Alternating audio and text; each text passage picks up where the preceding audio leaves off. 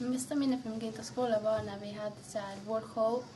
Då eh, jag och min vän, vi dansade upp på scenen. Jag var jättenervös första gången. Först gick det nästan lite fel. Sen att börja bli så här bättre. Ja, det var på det. Tack.